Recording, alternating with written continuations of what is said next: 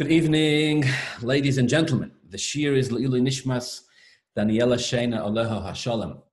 Bas Yeshua Falik Sheyichya, who Neshama should have an aliyah, and Allah Yidin Ayeshia, the Kranka Arafiyah, the Gezinta Ayeshia. All Jews should be blessed with brachas and simchas, and nachas and gezunt, and all the most wonderful and beautiful things.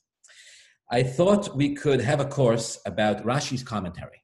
Um, Rashi's commentary, uh, specifically on Chumash, I had this idea because you know the parshias that we learn now, uh, you know the stories about Yosef and the stories about Yaakov and all the rest of it. The parshias are, are very famous. The stories are very famous, and there's so much material. There's so much midrashic and spiritual insights in these stories and in these verses, in the big part of the stories and in the nuances of the stories. And of course, we have a parsha shir every Thursday morning. Um, but it's it's one parsha shir, and and it feels like every parsha, as we run from one to the next, it feels like we leave so much behind. So I thought perhaps we could focus on some of Rashi's commentaries, um, specifically throughout the parsha, so throughout the parsha, and see if we can find something there that is uh, that is inspirational, that is uplifting, and that opens and that develops uh, the, the discussion. So for today, if you have a Chumash in front of you, I'd like to study with you a Rashi on Perak Memhe, chapter 45, Pasuk Yud Beis, Pasuk 12. So this again comes from the, the, the section of the Parsha where Yosef has revealed himself to his brothers. He has told them who he is. He said, Ani Yosef. Uh, the brothers have gone through the shock, or they're going through the shock of this discovery. The Yosef that they wanted to kill, the Yosef that they sold into slavery, um, is now sitting in front of them. He's, he's the viceroy of, of all of Egypt. Um, and Yosef tells his brothers, Yosef tells his brothers um, that they should not be upset and they should not be bitter or resentful. Yosef tells his brothers, Let not your hearts be troubled um, over the fact that you, my brothers, have sold me here. Because Yosef repeats twice. Yosef says, It was for the sake of food, it was for the sake of being able to provide food uh, during the years of hunger that Hashem has sent me, Yosef, here to this place. For food, for provision, for sustenance, Hashem, says Yosef, has sent me here in, in front of you. Um, Yosef goes on to tell the brothers that Hashem sent me here. Hashem sent me, Yosef, here to Mitzrayim to be in position where I can provide not just all of humanity with food, but even you and your families to avoid, to see to it that you avoid facing hunger and deprivation and to see to it that you not become impoverished and, and, and suffer during the time of the hunger. Hashem has sent me, Yosef, here to the land of Mitzrayim and put me in this position to be able to, to, to provide for you. And Yosef goes so far as to say to the brothers in Pasuk Ches, in, Pasuk, in verse 8, he says, It was not you that sent me here, it was Hashem. And Hashem has made me, elevated me to a position of power in Mitzrayim and, um, and, and a master in Paro's house. Okay. Now, bear with me. We're going to read together a Rashi from Pasuk Yud Beis. Yosef tells his brothers the following: Behold, says Yosef to his brothers, your eyes can see. And the eyes of my brother Binyamin, all of your eyes can see that it's my mouth which is speaking to you.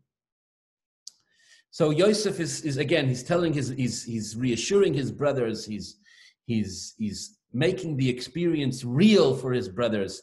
His brothers are having a hard time wrapping their head around this reality. It's like this, this reality which has exploded out of nowhere at the moment that they least expected it. You know, everything gets, gets turned over in an instant. And Yosef tells them, look, you know, it's again the simple meaning of the pasuk is Yosef tells them, look, it's it's real, it's me, it's me. I'm talking to you. I'm Yosef. You know, Yosef showed them physical signs that he was their brother. Yosef spoke to them in lashon hakodesh, hakodesh, so that they could identify him as their brother. Um, the simple meaning of the pasuk is that Yosef is is working. He's helping his brothers get through this shock of the experience. You know, in, in, in psychology, they always talk about how when a person goes through a very shocking experience, so the first uh, part of the emotional reaction is denial, where the person, the, the experience is so powerful that the person can't cannot believe it. And even if they could believe it, they cannot process it. They cannot process it intellectually. They cannot process it emotionally. They go through some, some form of denial. And this can take a while till the person is able to get through it. So again, the, the simple meaning of the pasuk is that Yosef is um, he's, he's talking the brothers through this. He's helping them. He's like, look, guys, you know, uh, you know, it's like it's a reality. It's here. It's true. It's me. You can see it with your eyes. You can see it with your eyes. It's me. All right, Rashi says, um, Rashi actually says that, that Yosef showed them physically that he had uh, that he had the physical signs of having a bris milah, and that he was he was he was physically one of their brothers. Again, the implication here in the pasuk is that they don't necessarily recognize him by looking at him, or, maybe they can't even think straight because they're so overwhelmed. But Yosef is making this point and he's driving it home and he's like, look, it's me and it's you and you can see it with your eyes. Okay. Now here there is an amazing Rashi. Wild, wild Rashi, wild stuff. What's bothering Rashi? Let's start with that. What's what's bothering? What there's a part of the pasuk. There's some words in the pasuk that Rashi is perturbed by. What's the problem? Rashi is perturbed by the fact that Yosef in his remarks distinguishes, differentiates, divides between the eyes of the brothers and the eyes of Benjamin. Again, look back in the pasuk. He says, "V'hine, behold, einechem royos, your eyes see, ve'enei ochi Benjamin, and the eyes of my brother Benjamin. That it's me, that it's my mouth which is speaking to you." So Rashi is perturbed by this. What does Yosef want? Your eyes see, and the eyes of Benjamin, my brother and the eyes of Benjamin, my brother, see. What's the difference between the way the brothers see and the way Benjamin sees? Everybody sees. Why is Yosef harping and, and, and making special mention of the fact that Benjamin can also see him? And while we're at it, Rashi is bothered with the fact that, ben, that Yosef refers to Benjamin as my brother. They're all his brothers. All right, Benjamin was his brother from his mother's side as well. But again, how is that relevant over here? The point Yosef's making is that everybody can see that it's me. You can see that it's me. I can see that it's me. They can see that it's me. Benjamin, Reuben, Shimon, Levi, Yehuda, Yisachar, Zvul, everybody. So what does Yosef want here with this comment that it's not just you, the brothers, and it's not just your eyes that see, but it's also the eyes of my brother Benjamin. So it's a short Rashi. If you, again, if you have a Chumash, I'd encourage you to take a look because this is mind-blowing stuff. Says Rashi, Ve'enei ochi Binyamin, Yosef makes special mention, the eyes of my brother Binyamin, Hishve es kulam yachad.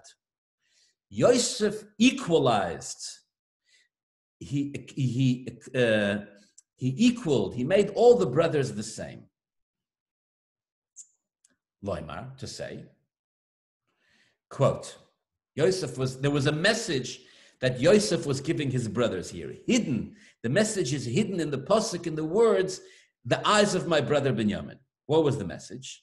Quote, Shekeshem she'ein li sino al Benjamin, said Yosef to his brothers.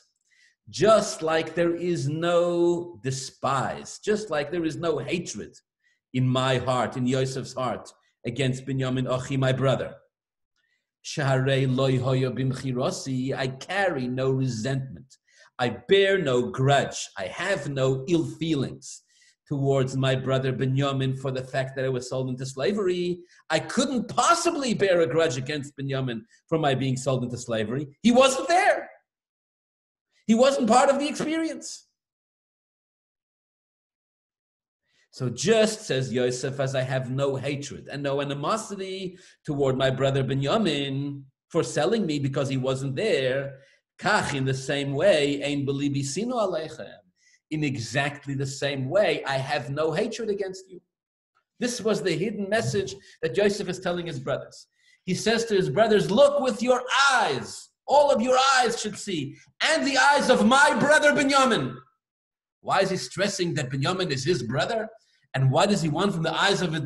And what does he want them to see uh, with, with the eyes of his brother Benjamin? It was like, it's Rashi says, Yosef is comparing the brothers to Benjamin, and he's telling them, I feel about you the same way I feel about the same way I feel about Benjamin, my brother. Just like you, the brothers, understand that I have no animosity toward Benjamin, I feel that he is truly my brother. I feel that he has, there's no reason for me to be angry with him. And I'm not resentful to him for the fact that I was sold into slavery. He had nothing to do with me being sold into slavery. He wasn't even there. Says Yosef, I feel exactly the same way about the rest of you. I don't hate any of you. I don't bear a grudge. I don't carry resentment. I'm not angry. I'm not hateful. Nothing. I love you the same way I love Benjamin. I see you the same way I see Benjamin. And I want you, the brothers, to see me through Benjamin's eyes. Just as Benjamin sees me as a brother with whom there is no baggage in our in the history of our relationship, so says Yosef to, to his brothers, I want you to see me the same way. Let's turn over a new, let's turn over a new leaf. Let's begin afresh. I said Yosef from my end, I have no anger and no hatred toward you for selling me. I feel about you exactly the same way I feel about Benjamin. This was Yosef's message according to Rashi. Before I move on, I just want to say this. Based on this, Rashi is also explaining one more part of the pasuk, one more part of the story, which, which when you read it, when you understand this explanation of Rashi, gives more clarity to something else that's going on here. The Torah makes it clear that the brothers have a very hard time. They're struggling with, with this revelation. When Yosef reveals himself and says, It's me, I'm Yosef, the brothers have a very hard time with it. They, they, they, they cannot find their words. They, they can't speak. They're in a state of shock. They're, they're, they literally back away, physically back away from him. It takes them a while until they can ever even, even physically talk. It's a shocking experience for the brothers, of course. Of course. And, and, and, that, and that makes sense. But what Rashi is telling us here is that there's more to the story. There's something else that was this is an additional part of the story that the brothers are struggling with, or that the brothers have to get over at this moment. And that, and that is probably in their minds, they always feared or they always they always held in their minds a thought about what would happen if they ever did come face to face with Yosef. You see, the brothers knew that Yosef wasn't dead or at least they knew that they didn't kill him. So they knew it's possible that he's out there somewhere. They probably all these years wondered, whatever happens if we do meet him? And probably they wondered to themselves, what happens if we do meet Yosef and Yosef is in position to take revenge? They were probably kind of dreading this, carrying the secret with them in their pockets, in their hearts, their entire life.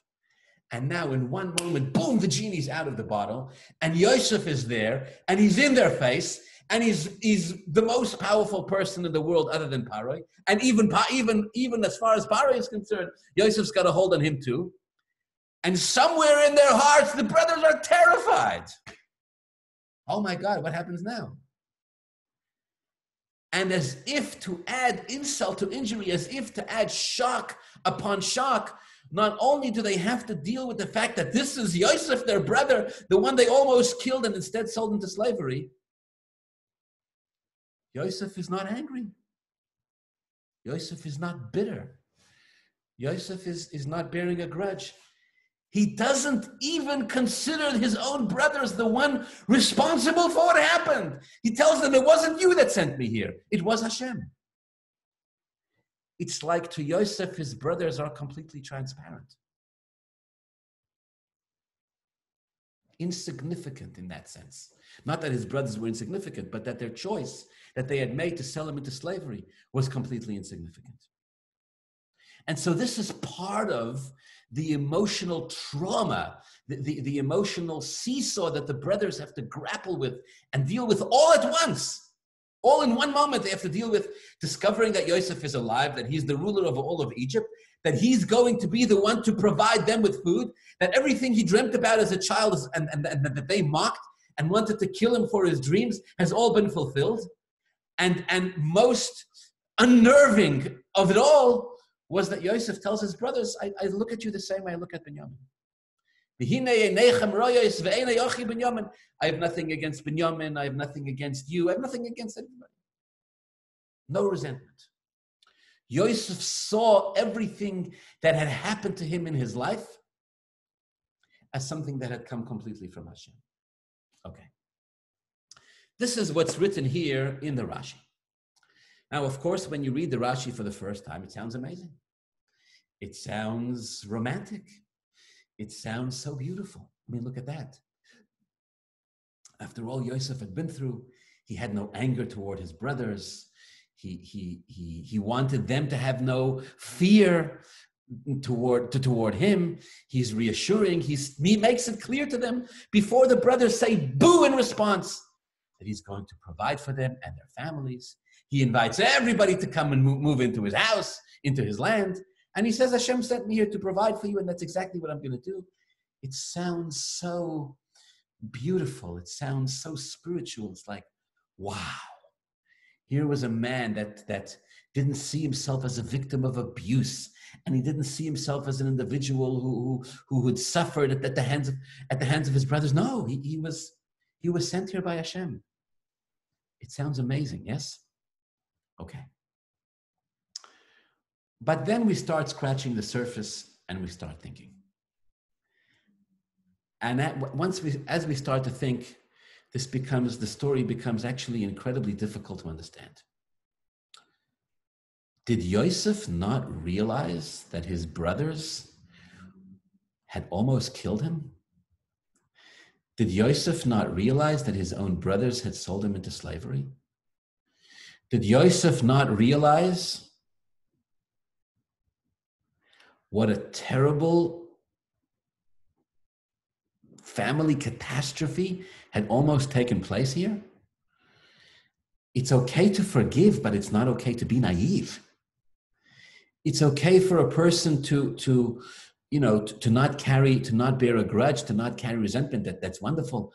But it's not okay for a person to be unaware Yosef comes across like, like almost like this with this childish, blissful, rose petaled glasses, as if he's looking through the world through some weird lens and he doesn't see what's going on.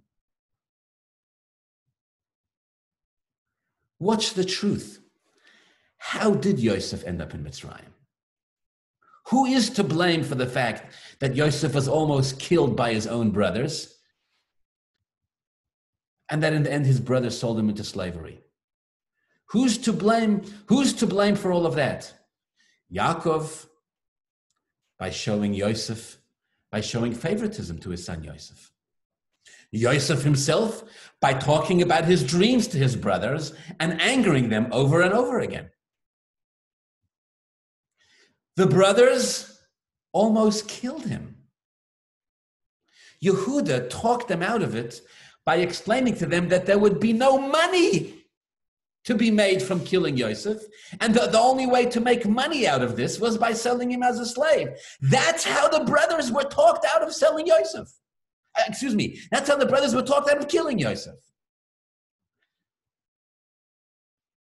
And after all that, Yosef goes, ah, don't worry about it. Forget about it. Nothing happened. No resentment. Ah, I don't have anything against Benjamin. I don't have anything against you. Nothing. I forget it. Let's not even talk about it. Hashem ordained everything. Hashem, Hashem ordained everything. Of course, we're all believing Jews. We all believe Hashem runs the world. But people have to take responsibility for their actions. What in heaven's name happened here? Did Joseph really mean what he said? That he looks at the brothers the same way he looks at Benjamin? Benjamin really was innocent. Benjamin really had nothing to do with what happened. He wasn't there. The rest of the brothers were there, and they were directly responsible. So while it sounds so beautiful for Benjamin to say, "Oh, I got no, I got no ill feelings against anybody," let's think about this for a minute. Is this the Torah telling us to quote turn the other cheek, right? To borrow the the expression from from right from from you know where? Really? Doesn't matter what anybody does to you? No, your own brothers, you know, uh, they take your coat, they dip it in blood, they tell your father you're dead. Who cares? You're supposed to look at them the same way you look at an innocent bystander or somebody who wasn't even there.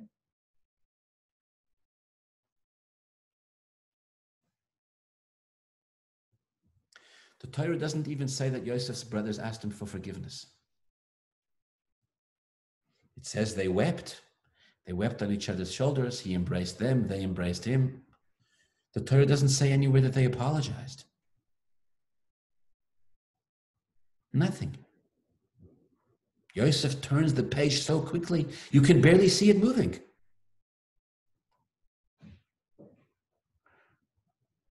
And repeats over and over again. It was, Yosef says, it was Hashem. Hashem sent me here. Hashem sent me here. He even tells the brothers, it wasn't you that sent me here. It was Hashem that sent me here. And in Rashi's words, which I think brings this point to, to, to a real climax, Rashi says, he told the brothers, as far as I'm concerned, you're the same to me as my brother Binyamin. I love Binyamin. I have no issues with him. I love you. I have no issues with you. I guess the real question here is well, you know, perhaps Yosef was a tzaddik, perhaps he was in that sort of a spiritual level. Perhaps Yosef lived that way. In Yosef's case, Baruch Hashem, the story has a very happy ending, of course. But let me ask you this what if the story didn't have such a happy ending? What if the butler of the king of Egypt never bothered to mention that there was a dream interpreter languishing in a prison cell somewhere in Mitzrayim and Yosef was still in prison? What if Yosef hadn't managed to convince Paray about the interpretation of his dreams and Paray would have snubbed his nose at him exactly the same way Paray snubbed his nose at everybody else who tried to interpret his dream and sent him back to the cell? Would Joseph then still be so happy to see his brothers? Would he still hug them and kiss them and cry and say to them, I have no resentment against you? Everything that happened came from Hashem?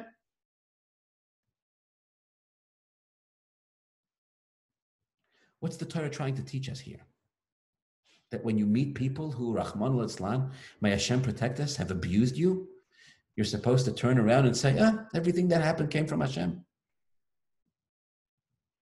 I bear no resentment against you in exactly the same way I bear no resentment against somebody who never laid a finger on me.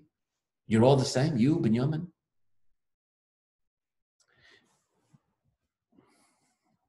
I think Rashi wants us to think here very deeply about what Yosef is really telling the brothers when he compares them. When he compares them to Benjamin. And here is very briefly I got a couple of minutes left. Here is very briefly an insight, a perspective on how to understand this. Let's call a spade a spade. The question doesn't only apply to Yosef. The question applies to every one of us, and the question applies to every story in all of Jewish and human history. It's easy to turn around as Yosef did, or, or, or perhaps not as easy, not, not easy, but easier to turn around as Yosef did after the happy ending, after Yosef is the most powerful man in the world, and say everything that happened came from Hashem. People are very ready to talk about their mistakes and their failures after they found a way to be successful from them. Oh, every successful person is ready to turn around and tell you their humiliating stories, their challenges along the way, how they suffered, how they had to bite their way out of paper bags in order to achieve what they did. Oh, absolutely. Once you've come out on top, once you've come out on top, so easy to turn around and say, ah, my journey was fraught with pain so easy.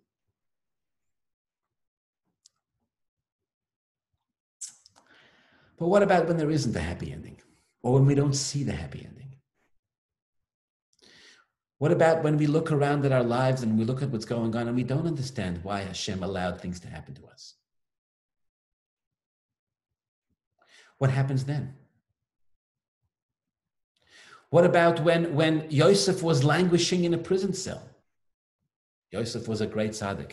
Perhaps then he also felt that everything that had happened came to him from Hashem, of course. But he didn't, doesn't say it in the Torah. In fact, when Yosef meets the butler and the baker in prison, and he asks them to mention him to Paroi, he tells them, I've done nothing wrong. And he tells them he doesn't belong there.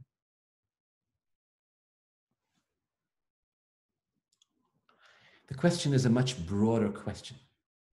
How can we, or what is the Torah's guideline? What's the mindset that the Torah wants us to have when we deal with these types of situations?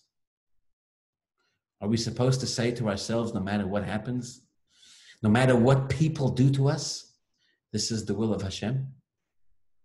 Were the brothers who had sold Yosef into slavery, were they supposed to say, we fulfilled the will of Hashem?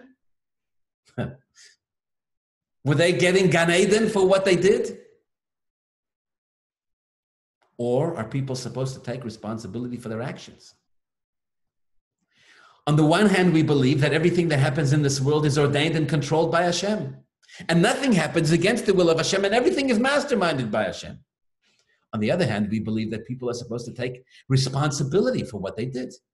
And if they've made a mistake and if they've hurt others, they're supposed to stand up and own their bad decisions, do teshuvah, beg for forgiveness, and mend their ways, try to be better tomorrow.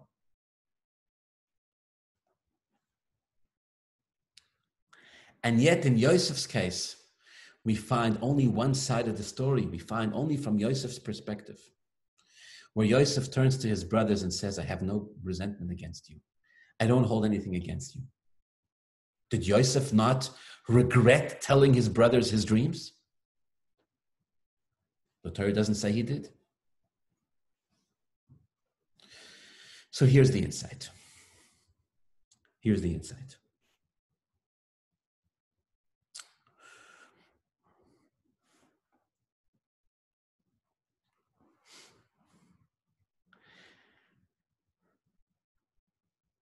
Both are true. Both are true. Hashem runs the world. Hashem decides what happens. And human beings have free choice. And when they make decisions, they have to take responsibility for what it is that they've decided to do. Both are true. And Yosef wasn't telling his brothers that what you did was a wonderful act. Yosef wasn't telling his brothers, You're going to Gan Eden. You're tzaddikim just like Binyamin, just like Binyamin did nothing wrong, so you did nothing wrong. That wasn't Yosef's message. What was Yosef, what was Yosef saying? Yosef was telling his brothers, As far as I'm concerned, you are the same as Binyamin, meaning, I'm not your victim, Yosef says. I'm not your victim. You don't decide what happens with me. You never did, and you never will.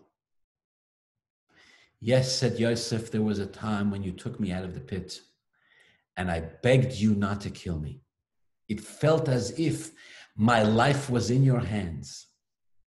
And then you didn't kill me, you sold me into slavery, and for 22 years, I haven't seen you, and I've lived with that. And you know how I was able to get through all of that? Yosef says, Yosef is educating and teaching them.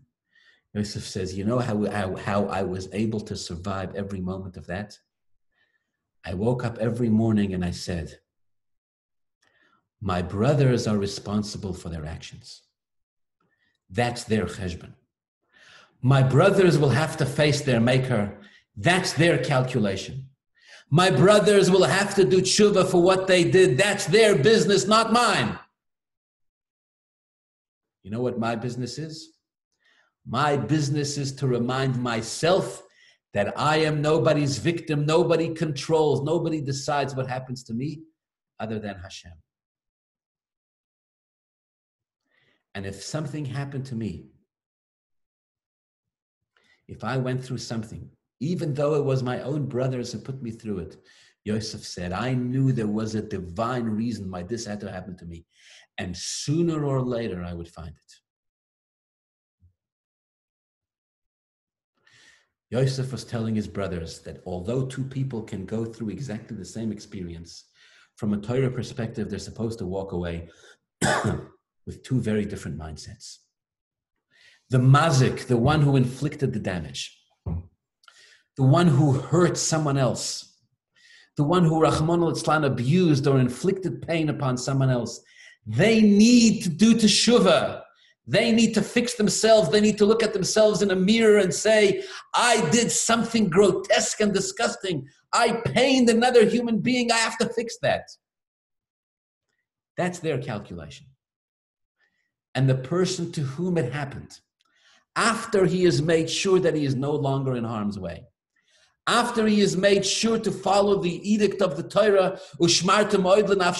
and taken care of himself, after he has made sure that he is no longer in harm's way and no longer being hurt by someone else, he has to then turn around and say, Whatever happened, happened to me.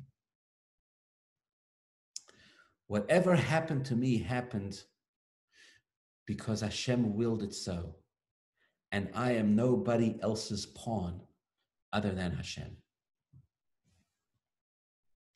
I want to share with you an analogy that I heard in my yeshiva days that stuck with me to bring out this point. They say the young, they say there's a young man, young yeshiva student. He comes to study in a yeshiva. He comes to study in the yeshiva, and the dormitory is the yeshiva dormitory is full. There's nowhere for him to sleep.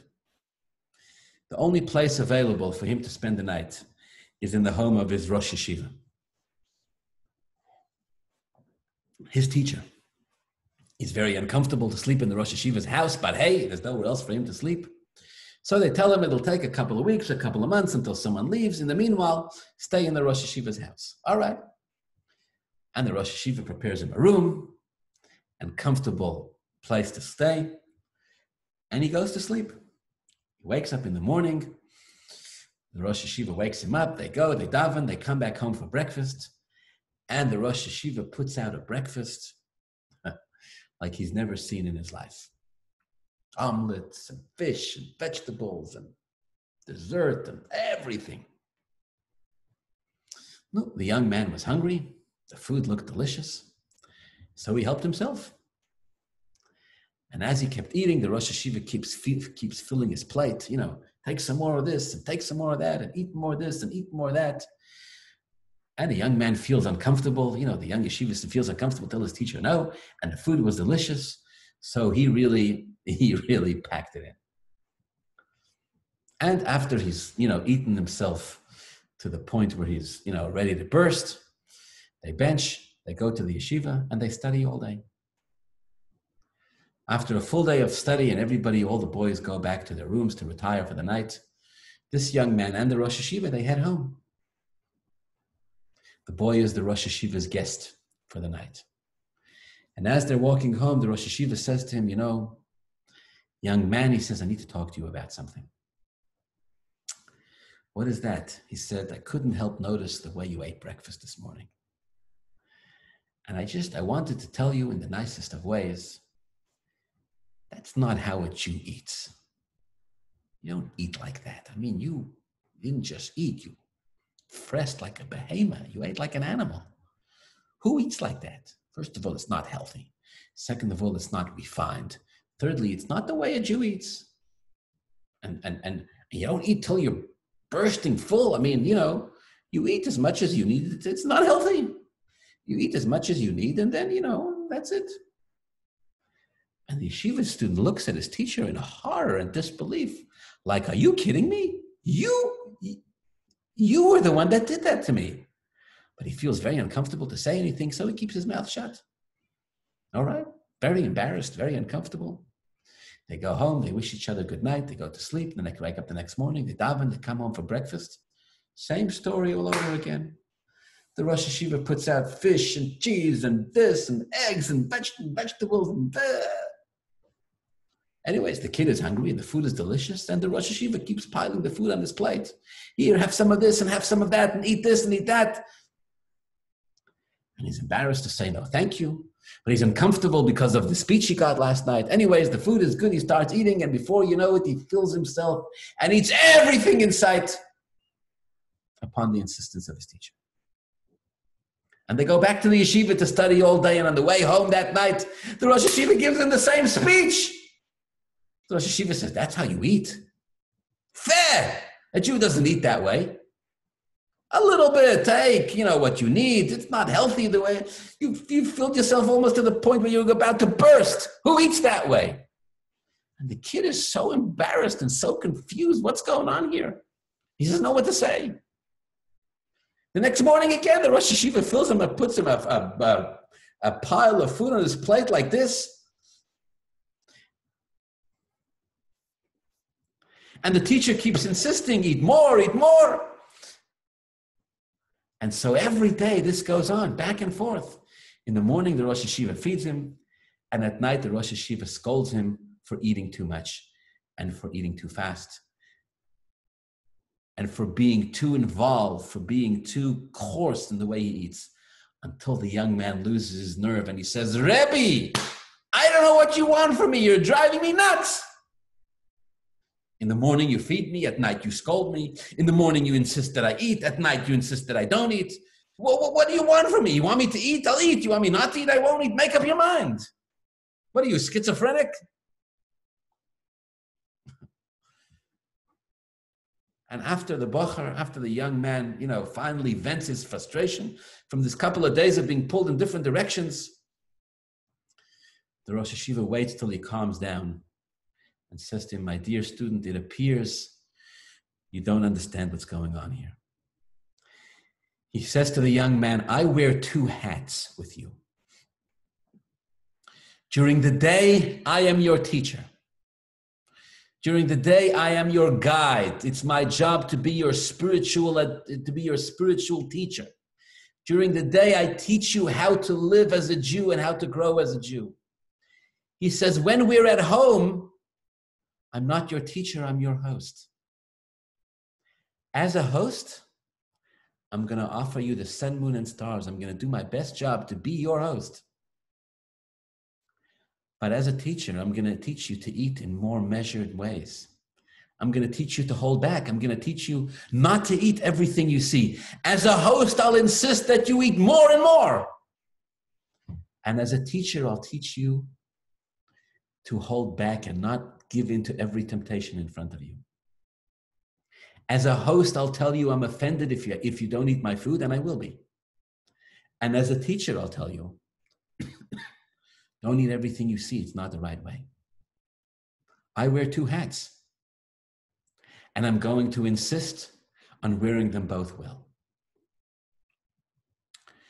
Yosef wore many hats.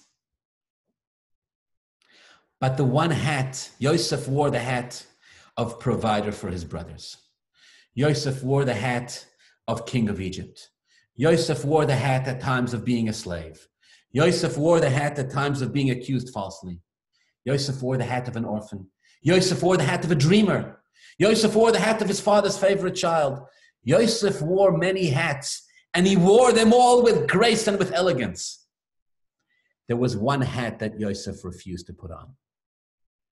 There was one role that Yosef refused to play no matter what came his way. Yosef refused to define himself in one costume. And you know what that hat and you know what that costume that Yosef never wore is?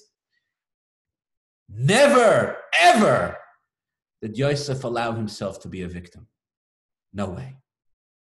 No matter what happens, and no matter what happened, Yosef faced obstacles from every, it wasn't only his brothers. His brothers did got the whole thing rolling. But after that, it was the wife of Potiphar who falsely accused him, and his master who falsely imprisoned him, and the butler who forgot about him for two years while he languished in prison. Yosef went through it all. And through it all, he said, Whatever happens comes from Hashem. So no, Yosef wasn't saying that the brothers are as innocent as Benjamin. Yosef wasn't saying that the brothers have no blood in their hands in the same way Benjamin does. Yosef wasn't telling the brothers what to do for their own tshuva program between you and Hashem. Yosef said, That's your business, not mine. You know what Yosef was saying? You, my dear brothers, have no control over me. You didn't decide my fate. The wife of Potiphar didn't decide my fate. The butler and the baker didn't decide my fate. Pare Melech Mitzrayim didn't decide my fate. Nobody controls me in exactly the same way as I don't look at Benjamin and say, What did you do to me? I don't look at you either and say, What did you do? You do what did you do to me? You, my dear brothers, did nothing to me. Whatever happened to me came from Hashem. It's the Torah's way of teaching us this. No matter what a person faces in life, a person always has to. I had a teacher who used to love to say, God, God takes care of those who take care of themselves. There is wisdom to it in the sense where none of this is intended to let us off the hook. It doesn't mean that we go about and sit around all day and do nothing and wait for Hashem to take care of us. It doesn't mean any of that. Of course not. What it means is that we don't see ourselves as pawns in someone else's life. We don't see ourselves as as as out, and we don't see our destiny as being determined by other human beings. Chas v'sholem. Our destiny in the end is determined by Hashem. Yosef said, You know why I ended up here? Because that's what Hashem wanted. If it hadn't been you, Yosef said to the brothers, it would have been someone else. I needed to end up here in Mitzrayim to control the world. That was my destiny. I was going to end up here no matter what. You, the brothers, made some very bad choices. You, the brothers, you have your own tshuva, you have your own tikkun to do. That's nothing to do with me. That you'll do and you'll do tshuva between yourselves and Hashem on Yom Kippur. You'll worry about that then. Perhaps the brothers should have asked Yosef for Mechila. Perhaps they did. The Torah doesn't say they did. I don't know. But if they would have come to Yosef and if they would have asked him for forgiveness, Yosef would have said, Yosef would have told them, I forgive, I forgave you a long time ago. Why? Because I think because Yosef thought that what the brothers did was good. Yosef said, "What you, whether what you did is good or bad, you you sort that out with Hashem. You you stand in front of you stand in front of a mirror and you ask yourself whether what you did is right or wrong. That's not on me. I have to take responsibility for myself. I have to ask myself, what kind of mindset do I carry through life? And I choose the mindset, said Yosef, of a man who believes that every step of the way, Hashem chooses my fate. And that's why Yosef was a king. And that's why his brothers bowed down to him. And that's why, in the end, the whole world bowed down to him. Because Yosef was a man, an individual who saw himself, his fate in the hands of Hashem. And he knew that nobody else could control that. On a philosophical level, it's still difficult to understand how do we put all this together? Do human beings have control? Do human beings not have control? Does Hashem control the world? Does Hashem not? How, how do you put this all together? The Rambam writes that this mystery is beyond the scope of a human being to understand. Yosef wasn't trying to solve philosophical problems here. Yosef was teaching us the greatest message and the most empowering lesson that we can, any of us can carry in any of our lives. And that message, it's literally in Yosef's words. Yosef told his brothers, whatever happened to me, from my perspective, came to me from Hashem. My fate was never in your hands. As far as I'm concerned, everything that, all of this was done by Hashem for my benefit. May Hashem bless us all with this type of mindset of Yosef, with this type of inner strength of character, with this type of, of, of connection to Hashem. And may we, as Yosef did, be able to always see in a revealed way the good that comes to us, unfortunately, from the challenges we face in life. But even along the way, let's remember that ultimately, was bashert is bashert. Hashem controls the world, and we are in Hashem's hands alone, and no one else's. Have a wonderful Shabbat.